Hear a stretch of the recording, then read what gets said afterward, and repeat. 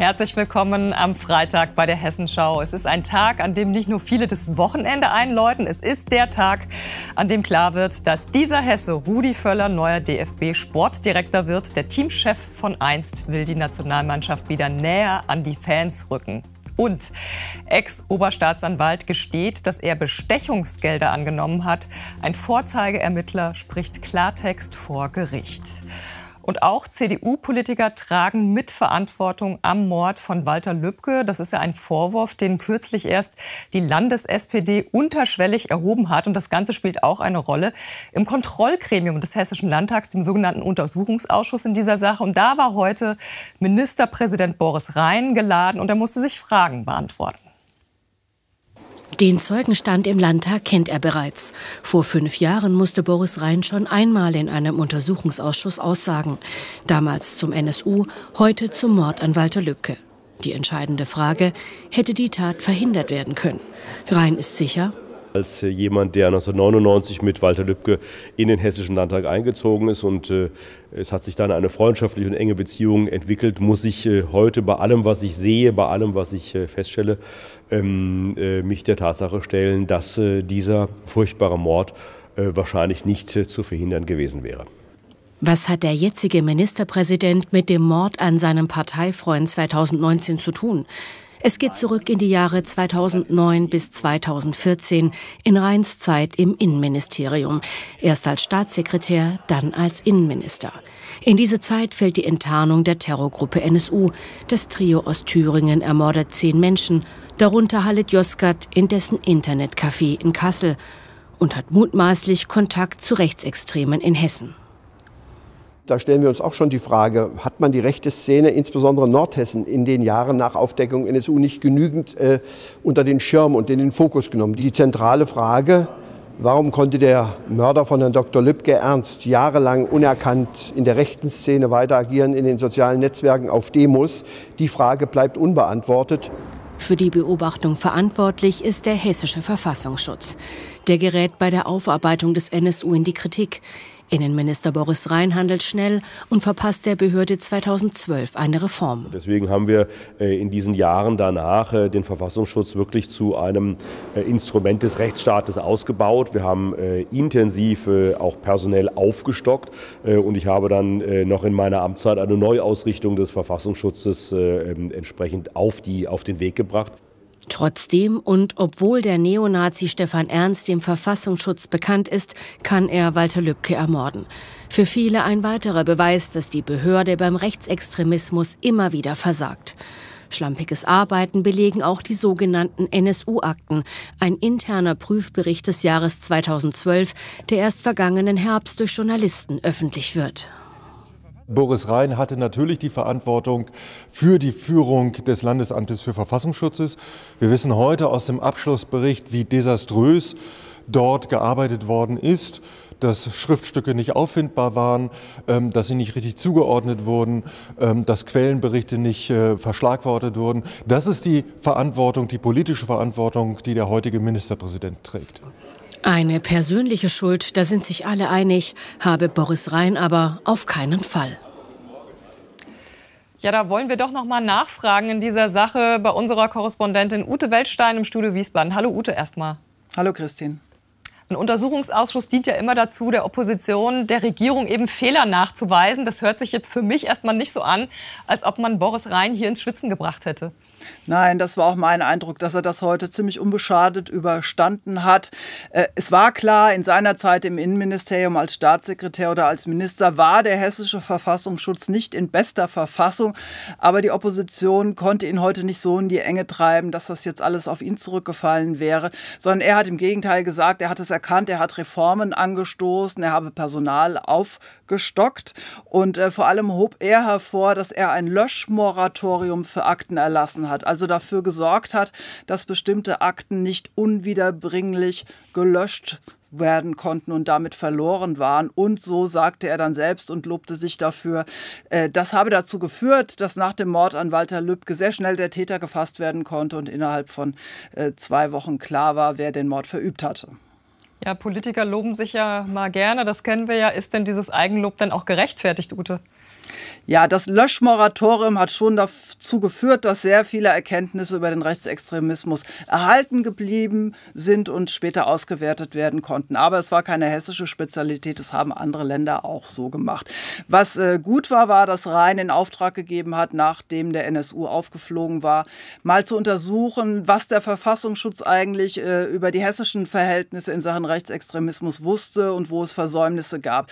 Dieser Bericht wurde allerdings erst nach seiner Amtszeit fertig. Deshalb ist für mich die interessante Frage, welche Schlüsse hat sein Nachfolger Peter Beuth als Innenminister daraus gezogen und hat man dann da die richtigen Maßnahmen ergriffen? Und eine weitere Frage, die ich interessant finde, warum war der Verfassungsschutz in Hessen eigentlich in so schlechter Verfassung? Die stellt man bestimmt seinem Vorgänger als Innenminister Volker Bouffier, der ja auch schon einige Jahre regiert hatte als Innenminister in Hessen. Und die beiden, Beuth und Bouffier, die sind demnächst als Zeugen im Ausschuss. Es gab ja viel Aufregung um einen Tweet der SPD auf Twitter. Die hatte den Mord an Lübcke in Zusammenhang gebracht mit schwerem innenpolitischen Versagen von CDU-Politikern. Wurde der heute auch noch mal diskutiert? Ja, so am Rande gab es die eine oder andere Zwischenbemerkung, denn die CDU ist immer noch sehr empört über diesen Tweet, weil sie sagt, er unterstelle ihr ja, dass sie Schuld oder dass ihre Politiker Schuld an der Ermordung Lübkes seien oder eine Mitschuld trügen. Und das empört sie natürlich. Aber man kann über den Stil dieses Tweets natürlich äh, unterschiedlicher Meinung sein. Da mag sich jeder selbst sein Urteil bilden. Aber er stellt natürlich schon die Kernfrage, die auch dieser Ausschuss stellt, nämlich wenn die hessischen Sicherheitsbehörden anders gearbeitet hätten, hätten, wäre dann die rechtsextreme Szene in Hessen besser durchleuchtet gewesen und hätte man diesen Mord verhindern können. Ministerpräsident Rhein hat es heute sehr deutlich klar für sich beantwortet. Nein, man hätte den Mord nicht verhindern können, aber ich kann mir vorstellen, äh, dass einige in diesem Ausschuss nach Anhörung aller Zeugen und Auswertung aller Akten möglicherweise zu einem anderen Ergebnis kommen können. Dankeschön, Ute, für die Einordnung. Ja, und bei uns geht es jetzt mit einem ganz anderen Thema weiter. Die Geflügelpest geht weiter um. Neuigkeiten dazu hast du, Claudia. Bei einer Graugans in der Fulda Aue in Kassel ist die hoch ansteckende Geflügelpest festgestellt worden.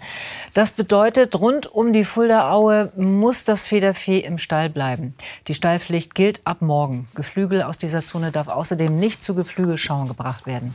In den Herbst- und Wintermonaten steigt das Risiko deutlich an, wenn Zugvögel an Rast- und Sammelplätzen zusammenkommen. Ja, und plötzlich ging es dann doch erstaunlich schnell und ohne Verletzte. Die Räumung im Fechenheimer Wald ist abgeschlossen. Jetzt können alle vorgesehenen Bäume gefällt werden. Fast die Hälfte der Bäume ist am Mittag schon für das Tunnelprojekt weg. Während abgeholzt wird, geht die Räumung weiter. In den drei verbliebenen Baumhäusern sind am Morgen noch sieben Aktivisten von Anfangs 22. Die Stimmung auf beiden Seiten friedlich. Wir sprechen mit einem Aktivisten, der die kalte Nacht noch im Baum verbracht hat ich hatte nie vor, mich räumen zu lassen. Ähm, wenn ich den Platz dabei kriege, dann packe ich meine Sachen ein und komme runter. Spricht's und seit sich Minuten später freiwillig ab. Die Polizei nimmt ihn mit. Ihre Kletterspezialisten gehen beherzt vor, bleiben aber vorsichtig. Jeder der sieben wird mitgenommen, ohne Widerstand. Ich bin bis jetzt sehr zufrieden. Äh, unser Anspruch war es, äh, dass keiner verletzt wird, weder auf Seiten der Aktivisten noch auf Seiten der Polizei. Das haben wir bis jetzt gut hinbekommen. Äh, das betrifft beide Seiten und es tut uns gut, dass das so bis jetzt gelaufen ist. Samstagabend werden die Rodungsarbeiten fertig sein. Warum es so schnell geht? Auch wegen solcher Maschinen, die selbst dickste Bäume sofort in Holzschnipsel verwandeln. Gähnende Leere im Briefkasten, keine Päckchen, keine Briefe, viele Postzustellende streiken für mehr Lohn. Die Gewerkschaft fordert 15 Prozent. Laut Verdi sind rund 80 Prozent der Beschäftigten in den untersten Entgeltgruppen eingestuft mit einem Bruttogehalt von rund 2100 Euro. Aber die wenigsten hätten Vollzeitverträge. Die geforderten 15 Prozent seien notwendig, weil die Angestellten mit ihren niedrigen Gehältern extrem von der Teuerungsrate bei Lebensmitteln betroffen seien. Wegen der hohen Streikbeteiligung wurde der Arbeitskampf bis Samstag nach 0 Uhr ausgeweitet. Ja, ich habe Bestechungsgelder angenommen. Das sagt der ehemalige Oberstaatsanwalt, der mal der Ermittler in Sachen Ärztekorruption war. Nun steht er selbst vor Gericht als Angeklagter. Seine eigenen ehemaligen Kollegen von der Staatsanwaltschaft ermitteln gegen ihn. Der Vorwurf Bestechlichkeit in über 100 Fällen, Steuerhinterziehung, Untreue. Es ist wirklich ein aufsehenerregender Prozess. Prozesstag 2 heute mit diesem Auftritt. Freundliches Gesicht, höfliche Begrüßung seines Verteidigers. Alexander B. wirkt fast gelöst, als er heute den Gerichtssaal betritt. Doch bald stockt ihm die Stimme. Es scheint, als will er mit seinem 18-seitigen Geständnis reinen Tisch machen. Ein suspendierter Oberstaatsanwalt, der Korruption im Gesundheitswesen bekämpfen sollte, sagt, dass er selbst korrupt war. Wir haben auch in seiner Einlassung gehört, dass er sich fast bei der Staatsanwaltschaft bedankt hat, dass diese ganze Einrichtung endlich mal ein Ende hat. Es wurde nachher zu einem Selbstläufer und so blöd es sich anhört, manchmal ist es schwer aufzuhören. Und ähm, er hat sich auch in all der Zeit nicht richtig gut gefühlt damit. Er wusste, dass es bemakeltes Geld ist, dass man das eigentlich nicht darf. Ähm, das Gewissen hat ihn schon gekratzt. 2006 gründet Alexander B. ein Unternehmen, das Gerichtsgutachten erstellt.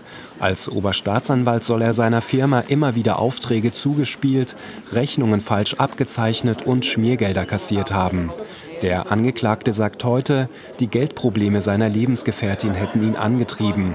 Die Aufarbeitung des groß angelegten mutmaßlichen Betrugs beschäftigt auch den Landtag. Mich interessiert äh, als rechtspolitische Sprecherin, äh, war es äh, das System, das versagt hat?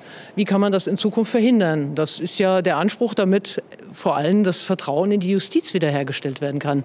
Denn darüber reden wir hier, dass viele Verfahrensbeteiligte das Ansehen äh, der Justiz hier Schaden erlitten hat. Alexander B. war auch Pressesprecher seiner Behörde. Die Richter und viele der anwesenden Journalisten kennen ihn persönlich. In seinem Geständnis geht er weit in seine Kindheit zurück. Er spricht unter anderem von seinem alkoholkranken Vater, der ihn missbraucht habe. Ich habe nicht damit gerechnet, dass er so sehr uns einen Blick auf sich und in sich gewährt. Wir dürfen nicht vergessen, wir haben es hier mit einem Juristen zu tun, mit einem suspendierten Strafverfolger, der natürlich weiß, wie Justiz funktioniert. Wie viel Reue steckt in seinem Geständnis? Diese Einschätzung seiner Richter wird auch über das Strafmaß entscheiden. Ein Satz kam Alexander B. heute nicht über die Lippen, dass ihm seine Taten leid tun. Das kann doch nur ein Werbefoto sein, denken sich viele. Wenn sie diesen entspannten Sicherheitscheck am Frankfurter Flughafen sehen, haben ja ganz andere Erfahrungen gemacht in den letzten Monaten. Ja, die Fraport, die will jetzt diese Sicherheitschecks selbst übernehmen. Vorher hat es die Bundespolizei gemacht. Es soll alles viel schneller gehen. Endlich. Solche Bilder wie in den vergangenen Sommerferien soll es in Zukunft nicht mehr geben. Lange Schlangen, ewige Wartezeiten. Und damit das nicht mehr passiert, hat die Fraport AG an den Sicherheitskontrollen nachgerüstet. Sie setzt auf neue Technologien. Sieben CT-Scanner sollen die Kontrolle für das Handgepäck einfacher machen. Sie können dann auf den PCs vorhin mehrere Bilder gleichzeitig in verschiedenen vertikalen, horizontalen Ansichten, überlappenden Ansichten etc. nehmen und haben damit auch mehr Sicherheit. Und das ist ja das Entscheidende. der Arbeitsplatz wird besser für die Mitarbeiterinnen und Mitarbeiter, mit mehr Sicherheit gleichzeitig gekoppelt und höherem Komfort für die Passagiere. Also eine Win-Win, wie man so schön sagt. Mehr Sicherheit und Komfort sind gut, aber was ist mit Schnelligkeit? Mit rund 80 Passagieren pro Stunde liegt der Frankfurter Flughafen weit hinter anderen internationalen Flughäfen zurück. Hier besteht jetzt die Möglichkeit von zwei Seiten. Insgesamt vier Passagiere gleichzeitig können sich auf die Sicherheitskontrolle vorbereiten. Äh, dann führen wir gemeinsam auf dieses Gerät und trennen hinterher wieder, dass der Gast sein Gepäck äh, zurückbekommt. Ähm, das ist ein entscheidender Vorteil, weil er in Summe natürlich wesentlich mehr Durchsatz bringt, als wir das früher von den klassischen Röntgenspuren kennen. Und das Beste? Alles kommt in nur noch eine Wanne, ohne Vorbereitung auf die Kontrolle. Christine Heinisch gehört zum Testpersonal. Es ist eine wahnsinnige Erleichterung für mich, keine Laptops, keine Flüssigkeiten mehr auspacken zu müssen. Ich bin schneller durch den Prozess. Ich muss mir vorher keine Gedanken beim Packen machen. Also es ist eine Riesenerleichterung. Die Fraport AG hat die Kontrolle des Handgepäcks von der Bundespolizei übernommen. So soll die Sicherheit für die Passagiere größer werden. Wir ziehen hier kein Personal ab. Deswegen ist es ja auch ein Gewinn in Sicherheit, weil die Bundespolizeibeamtinnen und Beamten sich ihren eigentlichen Aufgaben mehr widmen können. Deswegen ist es ein großer Gewinn. In rund vier bis acht Wochen endet die Testphase der sieben CT-Scanner und die neuen Kontrollspuren gehen an den Start. Auch für die Lufthansa eine gute Nachricht. Das Chaos vom Sommer 2022 ist noch nicht vergessen. Dass sich der Sommer 2022 nicht wiederholen darf, das schulden wir gemeinsam unseren Kunden hier in Frankfurt. Und daran arbeiten Hunderte, Tausende von Mitarbeitern der Lufthansa und der Fraport, damit sich das nicht wiederholt. Doch wer sich jetzt schon auf kürzere Wartezeiten freut, der könnte sich tatsächlich zu früh freuen. Am Frankfurter Flughafen gibt es insgesamt 170 Sicherheitskontrollen. Da sind die sieben neuen erstmal nur ein Anfang. Na, immerhin. Hessen will also schneller werden beim Sicherheitscheck am Flughafen und nachhaltiger werden. Und deswegen präsentiert sich jetzt Hessen in Berlin. Mehr dazu von dir, Claudia. Nach zweijähriger Corona-Pause findet seit heute in der Messe Berlin wieder die internationale Grüne Woche statt. Getreu dem Motto 500 Quadratmeter Hessen in Berlin präsentieren hiesige Landwirtschaftsbetriebe und Lebensmittelversorger sich selbst und ihre Produkte. Besucher können sich zudem über zwei hessische Ökosiegel sowie über Landschaftspflege und Ökolandbau informieren. Und natürlich Essen und Trinken neben Appleboy und traditionellen Wurstspezialitäten wird erstmals auch hessische Quinoa angeboten. Nordhessische Unternehmerinnen haben einen Aufruf zur Jackenspende für Bedürftige gestartet. Die Charity-Maßnahme wendet sich nicht nur an Obdachlose, sondern an alle Menschen, die aufgrund ihrer Lebenssituation Hilfe brauchen. Übrig gebliebene Kleidung geht nach Ende des Projekts in die Kleiderkammern der sozialen Einrichtungen. Mit der Aktion wollen die Unternehmenden zu einem hilfsbereiten und solidarischen Kassel beitragen und auf das Problem Armut vor unserer Haustür hinweisen. Das Finanzamt Frankfurt hat am Main hat dem Deutschen Fußballbund die Gemeinnützigkeit für die Jahre 2014 und 2015 entzogen. Dem DFB droht damit eine Steuernachzahlung in zweistelliger Millionenhöhe. Den erwarteten Schritt der Behörde teilte der Verband selbst mit. Die Finanzbehörden werfen dem DFB Steuerhinterziehung im Zusammenhang mit Einnahmen aus der Bandenwerbung vor. So, das war's äh, vom unangenehmen Teil. Es gibt auch sehr Erfreuliches vom DFB, Christine. Ja, ganz genau so ist es, Claudia. Und das Erfreuliche, das betrifft vor allem einen Hessen in entscheidender Funktion. Ein Völler! Es gibt nur ein Völler! Ein Völler! Ja, so wurde der Hanauer Bub vor mehr als 20 Jahren von den Fans gefeiert für die Vize-Weltmeisterschaft. Da war er Teamchef. Heute ist er als Sportdirektor präsentiert worden und er steht vor allem für Bodenständigkeit. Das kann ja nur gut tun. Ein Rudi Völler, das gibt nur ein Rudi Völler. Ja, Dankeschön. Ein Rudi Völler, das gibt nur einen. Ja, es gibt wirklich nur einen und deshalb ist auch seine Unterschrift einzigartig. Diese hier ist über 20 Jahre alt. Damals wurde Rudi Völler Ehrenbürger seiner Heimatstadt Hanau. Und jetzt hat er wieder unterschrieben beim DFB in Frankfurt. Natürlich bin ich äh, grundsätzlich natürlich ein Kind des Rhein-Main-Gebietes hier. Ne? Ich komme aus Hanau, aber Offenbach gespielt, auch in Frankfurt teilweise mit groß geworden. Also ich kenne mich natürlich hier sehr gut aus und werde natürlich auch in diesen anderthalb Jahren, das ist für mich auch selbstverständlich, äh, äh, hier im Büro haben. Damit rückt Rudi Völler auch wieder ganz dicht ran an den Ort, an dem alles begann. Den Fußballplatz des TSV 1860 Hanau. Und Willi Loos war einer seiner Jugendtrainer. Wir treffen ihn ausgerechnet in der Gaststätte Hanauer Bub. Denn damit ist ganz klar der Rudi gemeint. Die Freude ist groß, klar, wieder in Hanauer Bub. Auch selbst wenn ich auch persönlich kenne, das macht schon irgendwie äh, Freude. Das hat mich schon bewegt. Ja, die Sache mit den Unterschriften. In der A-Jugend heuerte Rudi Völler bei den Offenbacher Kickers an, durfte selbst aber gar nicht unterschreiben, weil er erst 16 war habe ich dann zu denen gesagt, kann ich als Mutter auch unterschreiben? Dann ich, ja, selbstverständlich.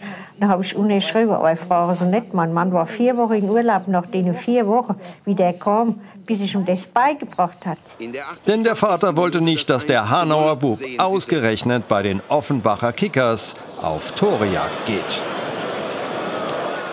Gleich fünf Abwehrspieler lässt Rudi Völler leerlaufen und schießt überlegt ein. Rudi Völler traf und traf und traf auch diese junge Friseurin. Durch Zufall auf einer Silvesterparty. Danach war er jahrzehntelang Kunde von Martina Acht. Die Frisur bestimmte aber er. Ich habe so oft mit ihm darüber gesprochen. Er hat immer gesagt, Martina, mach doch einfach, was ich mir wünsche. Beim Bund musste ich kurze Haare haben, als Kind musste ich kurze Haare haben und danach habe ich die Flügel gestreckt. Und er hat auch keine Dauerwelle. Er hat Naturlocken. Die Naturlocken wurden berühmt durch den WM-Sieg 1990. Beim Vize-Weltmeistertitel 2002 war Völler Teamchef und jetzt Sportdirektor. Er kann auch um den Tisch hauen. Ja. Also ich denke, dass er, das, dass er das gut macht, dass wir 2024 mal wieder ganz vorne mit dabei sind. Denn ein EM-Titel, der fehlt noch in der Sammlung des Einzigartigen. Nur eine Eintracht, nämlich die am Main. Ab morgen rollt da auch der Ball wieder. Die Frankfurter Eintracht, die trifft auf Schalke 04, fühlt sich wie Rückrunde an, ist es aber noch nicht ganz. Es sind noch zwei Spiele der Hinrunde, musste ja ein bisschen früher unterbrochen werden wegen der WM in Katar. Aber jetzt mal zu was Erfreulichem. Die Vorfreude, die ist natürlich riesengroß, aber auch die Erwartungen.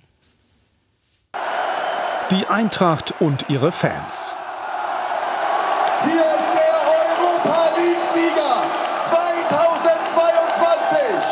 Seit Monaten voller Euphorie.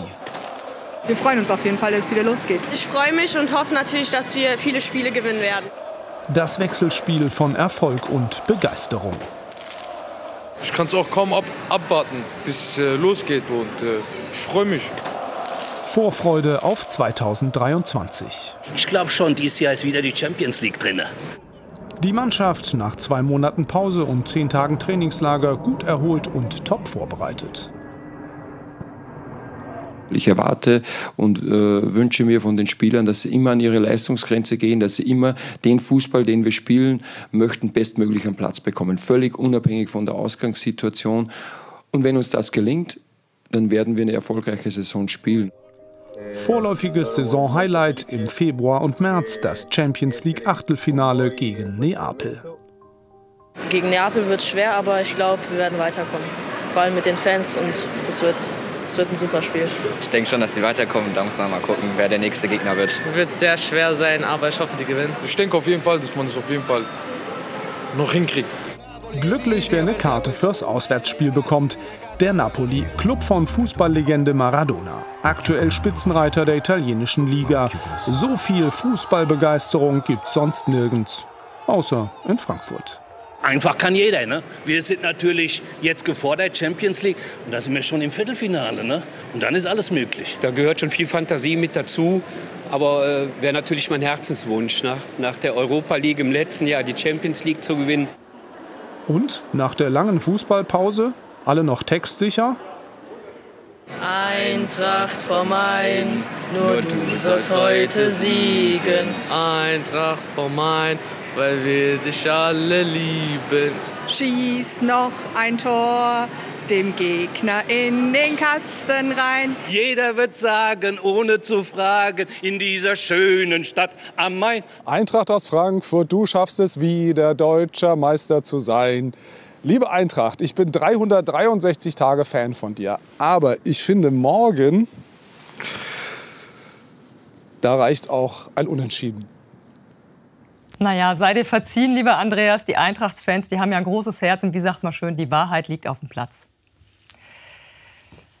Sorry Leute, ich muss mal muten. Der Arzt faselt hier irgendwas von Burnout-Gefahr. So ein Cartoon ist zum Beispiel eingereicht worden für den Deutschen Cartoonpreis. Der wird heute verliehen in Kassel, heute Abend, später nach der Hessenschau und live vor Ort ist Till Möller. Ähm, Till, das sind ja ernste Themen, die oft in diesen Cartoons angesprochen werden, aber schmunzeln muss man dann doch irgendwie, gerade bei solchen Themen. Ne? Immer. Man sagt ja, Lachen ist gesund und wenn es danach geht, dann bin ich im Moment fit wie ein Turnschuh. Ich habe mir heute schon ein paar Cartoons ansehen können und da sind wirklich einige Preisverdächtige dabei. Wir schauen mal ganz kurz rein in die Preisverleihung. Im Moment geht es noch mit dem Begrüßungszeremoniell äh, voran.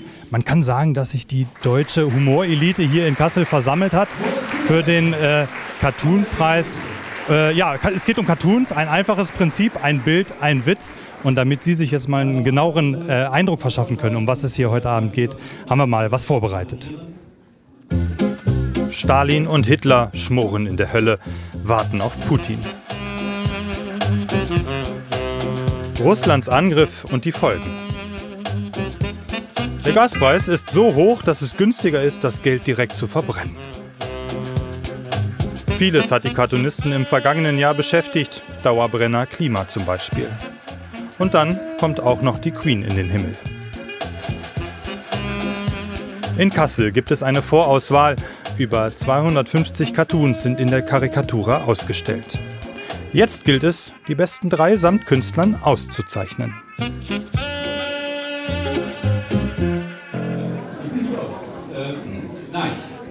Ja, und den Mann, den Sie da eben gerade schon am digitalen Zeichenbrett gesehen haben, das ist Michael Hochschuld, Holtschuld, Holtschulte. Ähm, Sie sind Cartoonist, das ist Ihr Traumberuf. War denn 2022 so ein Krisenjahr, äh, Krieg in Europa? Hat der Job da noch Spaß gemacht? Fiel es da leicht, äh, Witze zu machen? Also das Jahr war eine Katastrophe, muss man ganz ehrlich sagen. Von Corona in diesen Angriffskrieg reingeschlittert, dann äh, die Auswirkungen der, der Klimakrise äh, werden so bewusst und halt auch die ganzen Kosten, die steigen, so dass dann halt auch jedem persönlich irgendwie bekannt wird. Ja, das war natürlich ein richtig beschissenes Jahr, um das jetzt mal so auszudrücken. Und ähm, also direkt mit ähm, dem Angriffskrieg war natürlich auch jetzt bei mir persönlich, fühlte sich so ein bisschen paralysiert und dachte sich, kann man jetzt überhaupt noch Witze machen? Aber letztendlich, äh, es hilft auch keinem, wenn es nichts weiter zu lachen gibt. Und machen wir alle unseren Job hier. Richtig. Es gibt ja auch schöne Themen. Äh, dein Favorit ist der hier. Wir zeigen ihn mal. Lies mal kurz vor. Ja, ich bin natürlich voreingenommen, weil das ein Kumpel von mir ist, der Olli. Lies mal vor. Chef, Martin ist jetzt ganz offiziell Martina. Und der Chef, oh, da muss ich ja das Gehalt kürzen. Ja, besser kann man, glaube ich, äh, den Gender Pay Gap nicht auf den Punkt bringen. Dann schauen wir mal, wer gewinnt heute Abend. Wenn Sie sich jetzt äh, denken, äh, ja, die Cartoons möchte ich auch noch mal ganz gerne sehen, dann können Sie das noch machen in der Karikatura in äh, Kassel noch bis zum 5. Februar. Und die Sieger heute Abend, die werden wir Ihnen natürlich morgen in der Hessenschau nachreichen. Ja, ganz genau. So machen wir das, Till. Und wenn wir die Info schon ein bisschen früher haben, dann natürlich heute Abend in unserer Hessenschau. Die kommt nämlich noch mal heute Abend. Ja, 21.45 gibt es nochmal die späte Hessenschau. Ja, das ist schön. Morgen an dieser Stelle Daniel Johe. Wir wünschen Ihnen einen schönen Abend und jetzt wirft ein Blick auf das Wetter unser lieber Kollege Stefan Labs. Schauen wir mal, wie es wird. Gell? Tschüss. Ciao.